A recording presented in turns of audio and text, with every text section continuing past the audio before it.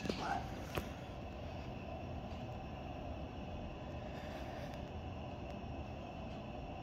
Nice clunk.